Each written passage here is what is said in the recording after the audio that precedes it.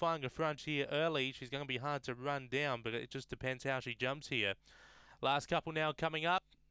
We're almost right to go for race number four over to 342. Just awaiting on one to come forward there. There's the light. We are set to run race number four. On their journey, Bella's Flower was fairly away. There's Speed from the centre, Venom Encounter, who finds the front by a half length. Bella's Flower moving up now. A length away then, Kilcoy Bray with Argent Street, Aston Jazz and Aston Judge. Up to the turn, Venom Encounter on top. Bella's Flower looming up. They drive Venom Encounter. Got there in front of Bella's Flower. Now third will be Aston Jazz. Uh, Aston Jazz. Fourth was either Kilcoy Bray, Aston Judge, or Argent Street in a photo. That time, 1976.